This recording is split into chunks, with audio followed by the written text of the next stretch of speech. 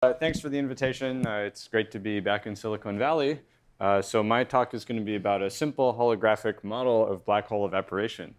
Um, so the black hole information problem is like one of our favorite problems in theoretical physics. Um, you know, it's like many of the great uh, inconsistencies in the past which led us to change the laws of physics. So for example, like the infrared catastrophe in classical thermodynamics or, or Maxwell's equations without the displacement current. You know, it's telling us that our current understanding of the world is incomplete. Um, and so since Hawking's paper, we've been working on it for a while. The way it's gone is that you know, there, it's been kind of slow periods, and then every now and then there's a new idea, and then things develop quickly for a while. So yeah, and then, and then there are occasional periods where things get exciting. Um, and actually, I think right now is one of those periods. Uh, so we're lucky. Right now is, uh, is one of those occasional periods where we're learning a lot, and so I'm going to try to convey a little bit of that to you. Um, and so since time is short, um, I'm just going to focus on one part of this, which is this model um, that Chris Akers and, and Netta, somewhere here, and uh, myself proposed a few months ago, uh, which was inspired by a couple of papers earlier this year by Pennington and then by uh, Netta and Ahmed and Don Marolf and Henry Maxfield. Um, and I, uh, since you know this is supposed to be about experiments, I'll have some comments about experiments, but only only at the end. Uh, okay, so the arena for these new developments is this ADS CFT correspondence, which you've been hearing about for the last two days. It's kind of our, our best theory of quantum gravity so far. Uh, the basic idea is that you have quantum gravity in asymptotically ADS space. So that's this thing on the left. And then it's supposed to be equivalent to some quantum field theory, which is living um, on the boundary, this shaded gray region here. Uh, and then we like that because the quantum field theory doesn't have gravity, and so that makes it easier to understand. Now, in as it, so you know the, the fun thing in quantum gravity, or was it somebody said simple thing? I think Monica said, uh, is uh, is that it has black holes, um, and in ADS there's two kinds of black holes. So there are so-called small black holes, um, which are the black holes that don't really notice that they're in ADS. They're so small that they behave just like black holes in flat space, and in particular, they evaporate. So, uh, so these are the kind of more conventional black holes. Um, then there are what we like to call big black holes, which are big enough that they do know that they're living in ADS space. Um, and in particular, um, although they still produce Hawking radiation, the, the radiation bounces off of the asymptotic boundary of ADS and comes back into the black hole uh, fast enough that the black hole doesn't evaporate. Um, so, so big black holes are eternal in ADS.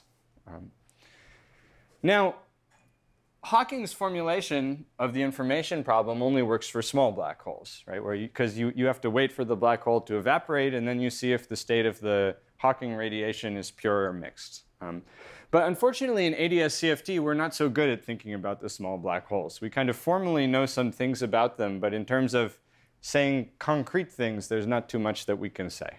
Um, so one approach is that you try to formulate a different kind of information problem, uh, you know, directly for the big black holes. Um, and so there is something like that, which is based on looking at the long time behavior of correlation functions, which Juan proposed uh, in 2001, and then uh, Phil Saad, who I think is here somewhere. Phil, are you here? Yeah, he's there. So yeah, so he wrote a very nice paper about this uh, maybe a month ago. Uh, and then there are also related ideas where instead of looking at correlation functions, you look at this thing called the spectral form factor. Um, but I'm instead going to talk about an alternative idea where instead of uh, trying to find some different version of the information problem that works for big black holes, you instead modify the CFT dynamics so that even the big black holes are allowed to evaporate.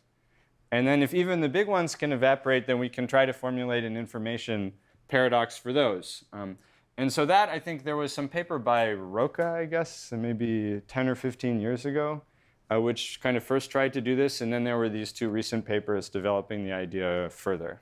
Um, so how do you evaporate a big black hole? Well, the idea is pretty simple. Uh, you take a CFT, which is dual to some nice ADS quantum gravity, and then you couple it to an external many-body system. So if you like, you put it in contact with a heat bath.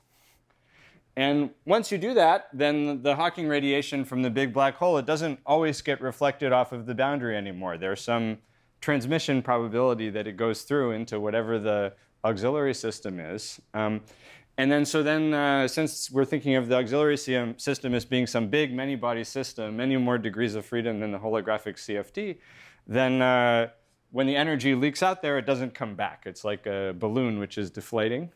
Um, and so then uh, this gives a new channel for the black hole to decay. Um, and in particular, you know, after it decays, after all the energy has leaked out into the auxiliary system, you can ask whether the final state of the auxiliary system is pure, if the, if the black hole started out pure.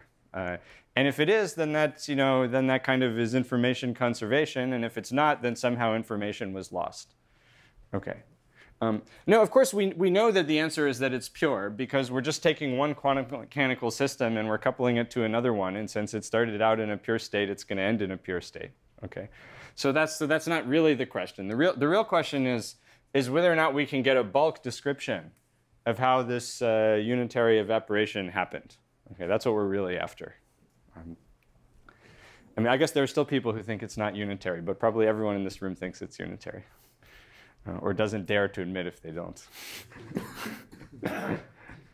um, so, so, so the new, the new progress, uh, you know, so this paper of Rocha, right? It was a long time ago, but but there was the, the new progress is being driven by um, uh, two recent developments in our understanding of ADS-CFT, uh, which uh, are entanglement wedge reconstruct, called, they're called entanglement wedge reconstruction and the quantum extremal surface prescription. And here's a, some subset of the papers that uh, introduce these things. Um, so I don't have time to explain them in detail, so I'm just going to draw a picture. This may be the most cryptic part of the talk, but I'll try to break it down. So so this, uh, this, so this can of soup here, that's ADS, okay? And uh, like the, the boundary, the metal, you know, that's holding the soup, that's the, the CFT. Um, and then the idea is that um, something that we like to do is we take a spatial subregion of the boundary, which is here this interval r. So time is going up. So this disk here is a time slice of the gravitational theory, okay? And, and the geometry on this time slice is like this Escher picture that you sometimes people see in their talks, okay? So then a time slice of the boundary theory is this circle here. Uh, this R here is this interval. It's a spatial subregion of the boundary time slice, which is the circle. So then the idea is that um, there are two natural questions that you can ask, and which are related to these two things. So the first is if I give you a state of the boundary CFT, and then I reduce to just the reduced state on this subregion R, what's the von Neumann entropy of that state? Okay. And the answer to that is given by, well, originally the Ryu-Takayanagi formula, but for this we have to go a little bit fancier. So this quantum extremal surface prescription. So here's the formula for the von Neumann entropy of the state on R. And the idea is that there's this magic surface here, gamma r, which is uh, this uh, connects the endpoints of the boundary region to each other and goes through the bulk. Um, and I'll tell you how to find the surface in a sec. But anyway, once you found the surface, the idea is then you look at its area divided by 4g plus some corrections we don't care about. Uh, and then you add to it the entropy of bulk fields, of the bulk degrees of freedom in between this surface and R. And then that gives you the von Neumann entropy of this boundary region. Uh, and then the way you find this gamma r is that you take the thing on the right-hand side of this, you extremize it over all possible gamma r. If there's more than one extremum, you take the minimum. Okay.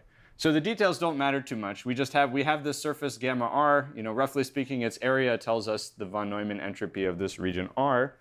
Uh, and then moreover, so this entanglement wedge reconstruction, it says that in fact, everything in the bulk that's in between these two and actually kind of within this wedge of cheese, which is called the domain of dependence, uh, someone who has access only to the CF degree, CFT degrees of freedom R here can learn everything that's going on in this wedge of cheese. Okay. So if that was too fast, don't worry about the details. I just had to say it. Um, the idea is then to use entanglement wedge reconstruction, which means this algorithm for for taking what's in this wedge here and describing it in the CFT in this subregion R, um, to study the question of when information um, that falls into the black hole becomes accessible um, from the radiation which has leaked out into the auxiliary system. Uh, so, uh, the, there are various ways to try to formulate that more precisely. Maybe the cleanest one is to use this thing called the Page curve. So the idea of the Page curve is that you take the auxiliary system that energy is leaking out into, and you plot its von Neumann entropy as a function of time. Okay, so here's time, here's the von Neumann entropy, and then there's kind of two options for what you expect. So if you think that information is conserved, which we do, then, well, the, the auxiliary system starts out in a pure state. Say it's a bunch of qubits, they're all zero.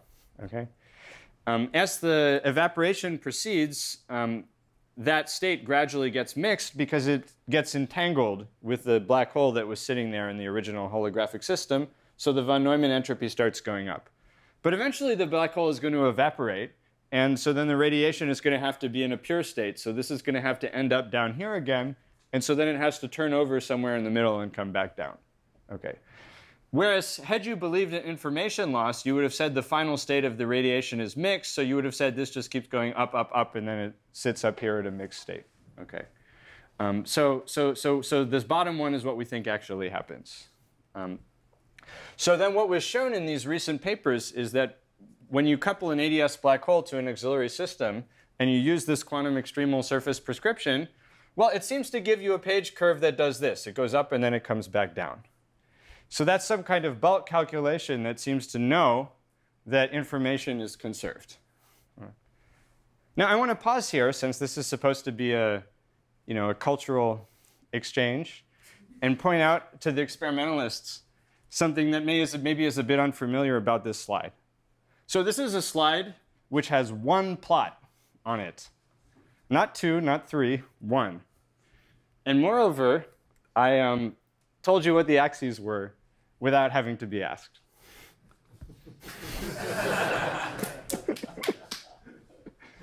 All right, continuing. so I'm not going to. What do you mean by seems? You said it seems. Yeah, we're going to talk about that. We're going to talk about that. Yeah. Okay, so so I'm not going to discuss the details of these calculations. This is not the right place for that. Um, but I want to mention two issues which come up. So the first is that, although I'm not going to tell you about the calculations, I'll tell you that they're hard. Well, I mean, people can do them, but, they're, but they are hard. They're not NP complete or whatever, but they're reasonably hard. Um, and the reason is because when you use this formula for the entropy, you have to use this bulk entropy term. Um, and this bulk entropy, it's kind of difficult to deal with. So just as a matter of practice, it would be nicer if we only had to use the area term, and then we're just doing geometry. We're not having to worry about the entropy of bulk fields. So that's just a practical concern. It's not a serious conceptual concern. Um, there is, how, uh, however, a conceptual issue in the calculations, which is that the Lorentzian dynamics which are used to do them are the same ones that Hawking used to conclude that there is information loss. Okay? And um, in fact, if you look at the final state of the bath that you get out of these Lorentzian calculations, it's mixed.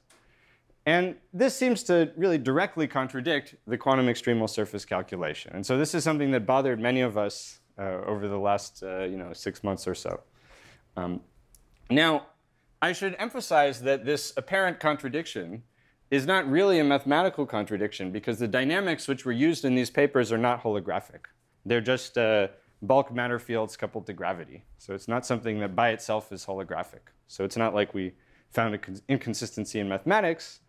Um, but it does tell us that something is missing, and we need to figure out what is missing from these calculations. OK, now an aside for the experts, the rest of you can ignore this. So some of you might say that replica wormholes are the thing that's missing. Um, but let me say that those only seem to contribute to the path integral when you average over theories. And I want to know how information gets out in a fixed theory. And I also want to know the Lorentzian, you know, the actual Lorentzian dynamics. OK, so if you want to fight with me about this paragraph, do it later. I don't want to fight about it now. Um, so recently with uh, Netta and Chris, um, we proposed an alternative um, coupling of a holographic CFT to an auxiliary system, which avoids both of these issues. So that's why I wanted to mention them. Okay, and so that's what I want to tell you about now. Um, so in our model, there are no large bulk entropies, or really its derivatives of bulk entropies that matter. So, um, so you can do all the calculations of the entropy just using the area. without having to worry about the bulk entropy. And so that makes it very simple. You can just look at the pictures and you see what happens. Okay. Um, so that's one advantage. Um, another advantage is that the model is going to be explicitly holographic. So it's not going to be possible for there to be tension between the bulk and the boundary calculations of the entropy in this model. They're going to have to agree. Okay? Um, and they will, and they're both going to give a unitary Page curve. Um, now, I'll just make a comment. Again, this is kind of tangential. So we also gave another model to show what a holographic version of the non-unitary model that was studied here would look like. I mean, we showed that if you really kind of force this model to be holographic, then actually the RT prescription predicts information loss, uh, as it has to since you made it holographic. Okay, um, but that's not what we really think happens anyway, so I'm not going to talk about that. Um, okay, so now let's talk about the model. So the basic idea is that um, you arrange, it sounds kind of silly when you first hear it, but you arrange for the big ADS black hole to evaporate not by radiating photons and gravitons and whatever, but by radiating black holes. And moreover, still big black holes, but not as big as the one you started with. So big in the sense of small and big that I said before, but still very small compared to the black hole that you started with. And to make it even simpler, each one is going to end up in its own separate asymptotic universe. So let me try to explain that. Okay, so I've got to put this in my talk too. We can't have a talk without the thermofield double. So, uh, so by now you're all experts on the thermofield double. And you know that the thermofield double is a state where you have two CFTs. And the spatial geometry is that there's a wormhole which is connecting the two. And here's what it looks like. Okay. Now, what you may not know is that this is actually just a special case of a more general construction, um, which uh, in general can produce spatial geometries, for example, that look like this, where instead of having two CFTs, you have three, and they're connected by a wormhole, which is a fancier wormhole. It's like this kind of pair of pants geometry. Okay, so then you can enter from any of the three exits, and you can all meet in the middle. Uh -huh. Now, here's what our evaporation model looks like. So we've got, so we're going to have one of these pair of pants geometries where there's going to be a big exit, which we say is like the black hole that's evaporating. And then there are going to be a bunch of small exits, which are the Hawking radiation. So each of those small exits is one of these black holes that was produced during the radiation process. And then the dynamics of the radiation are that the octopus grows more legs. Um, so, uh, so she starts out here, say, with three legs. Uh, so th this is not to scale. Really, you should think of each of the legs as being quite small compared to the, compared to the head. Um, and then uh, there's one step of radiation, and she grows a fourth leg. And then another step, and she grows a fifth. Um, and then, um, so after each step, um, the black hole gets a little bit smaller, and the octopus grows another leg. Um, now, um, it's interesting to talk about these HRT surfaces, these, uh, these gamma R that we use to compute the entropy. So um, there are two, so here I'm going to talk about, for the Hawking radiation, what is this uh, quantum extremal surface? That's what I should call it. Although here it's just the same as the RT surface. So that's this surface gamma. So here for the Hawking radiation, there's kind of two candidates. There's a surface gamma, which is the union of three, these three little circles going around the legs, or here are these four or here are these five. And then there's this surface gamma prime up here, which is kind of the uh, sweatband going around the head of the octopus. Um, and so either of these could be the quantum extremal surface. The answer is that you find the one which has smaller area, and that's the right one. So at early times, um, the ones that are like the ankle bracelets, you know, have the smaller area because these, these black holes are much smaller than this one. And so say right here, like maybe there's three of them, okay, but this one is much bigger, so the area of this is still smaller than that. So at earlier times, the entanglement wedge of the Hawking radiation does not contain the interior because the ankle bracelets is the HRT surface. So it just contains the exteriors of these three black holes. But as the evaporation proceeds, um, you know, the area of the ankle, ankle bracelets is growing with time, and the area of the headband is decreasing with time. And so eventually the area of the ankle bracelets is going to be bigger, the area of the headband is going to be smaller, and then the entanglement wedge of the Hawking radiation is going to contain the interior. Um, and so in particular, also at that point, um, the Page curve will turn over because early on the entropy was given by this area of this thing. Um, sorry, sorry, given by the area of this, which is growing since we keep adding more feet. But then at late times, it's given by the area of the headband, which is shrinking in time, and so it's going to go down. And actually, we can plot it. So here's an explicit plot of the Page curve. Um, goes up, goes down. This is, this is the Page curve divided by uh, the entropy per foot, per leg of the octopus. Um, now, let me just make a few comments about this. I'm almost done. So first comment is that you know here both the bulk and the RT formula agree that it's unitary. So the bulk picture of this is just that you've got a black hole which is entangled with a bunch of other black holes in a pure state. You know what the pure state is. Okay. The HRT picture agrees with that. Okay, it says that the state is pure. It sees that the curve goes down. So you don't have this mismatch that we had in the previous models. Okay. Um, secondly, there's a smooth geometric interior well into the period where the Page curve is going down. So once, you know, once the octopus has enough legs, the Page curve is going down. But look, this is just perfectly nice and smooth. I know the CFT state that prepare, you know, I know exactly how to prepare it in the CFT, and I know what the bulk geometry is. It's smooth. Okay, someone who jumps in here doesn't see anything surprising. No firewall in sight. Um, uh, let me also just say that this interior, so by that I mean the, the body in between the headband and the ankle bracelets, um, is an example of what some people have been calling islands. But I just want to emphasize that after, you know, after the Page time, well, or even before the Page time, it's a subregion that's in the holographic dual of the joint system. It's not like a subsystem of the radiation. I think there's been some confusion about that. All right, so that's it for the model. Last slide, let me talk about experiment. Um, so our primary motivation, have to be honest, was to understand the black hole information problem. We didn't sit down and say, let's come up with an experiment. Okay. Um, but nonetheless, I think there is an interesting experiment to think about here. Um, and this is that we, so we know in the CFT how to prepare these wormholes. It's kind of a generalization of the thermofield double. So, you know, right now people are thinking about how to prepare the thermofield double. This is a bit harder to prepare than that, but it's the same kind of thing, okay? Um, then, um, so in, the, in your laboratory, after you prepare these, uh, these uh, octopus states, you can look at the boundary correlation functions and also at the entropy of the separate exits of the wormhole. Um, and these depend on the parameters, which are called moduli of the wormhole. You know, how big one exit is, how big the other exit is, their relative size, all these parameters, right? You have all these parameters you can tune in the preparation. And this bulk picture gives you a prediction for each value of the parameters for what these things are. Um, and um, and moreover, it's like directly sensitive to the geometry of the wormhole interior. Like if you don't if you don't have the interior, like you would not make these predictions. And so if you see them, it's kind of evidence that that wormhole interior is really there uh, and is behaving in the way that we expect. Um, um, moreover, I want to emphasize this because I think it's not emphasized enough in, in this field.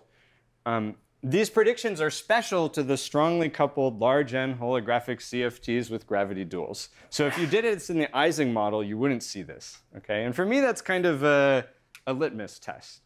If the thing that you measure, what happens is, you know, if you do it in the Ising model, the same thing happens, then I wouldn't say that you're doing gravity.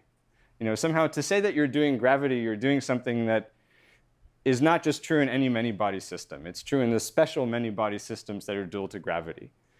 Now, you know, the distinction isn't totally sharp. You know, n can be large but finite. The coupling can be large but finite, and there will be some crossover that's continuous from not gravity to gravity. And uh, you know, it's very interesting to study that. But but I think it is important, you know, to somehow well. We could call it Einstein gravity versus very quantum gravity. Yeah, but what is very quantum gravity? I mean, I don't know. What's the gravity of, that's dual to a qubit? I, I mean. Well, this, this dependence of the, uh, of the correlation functions in the entropy on the moduli of the Riemann surface, that's like the function. The function is different. Yeah, it's a universal function for anything where it's gravity. But uh, in the Ising model, absolutely no reason to get that function. You know, it, it, it you're only going to get that if it's something that has Einstein gravity, if you like, Juan. Um, okay, so uh, so, okay, now I have to confess, this is probably not the first experiment that we're going to do, or you know, even the fifth or the tenth, because to prepare these states, you need to implement the Euclidean path integral, which is not the most easy thing to do in the world on a quantum computer. You know, there, there are various ideas that float around. Now, I should say, I mean, for the thermal field double, it's the same thing. You know, the preparation of the thermal field double is the Euclidean path integral. Now there, you know, obviously people have thought about it a lot more, so there are more ideas about how to do it. Here, I think no one has thought about it. Uh, but I, it doesn't seem in principle impossible to me. You know, it's something that if you think about it, I don't see why you, you shouldn't be able to do it. Um, so maybe eventually we'll do it. Uh, and yeah, for me at least, it would be fun to see it work. Okay, so that's it. Thank you.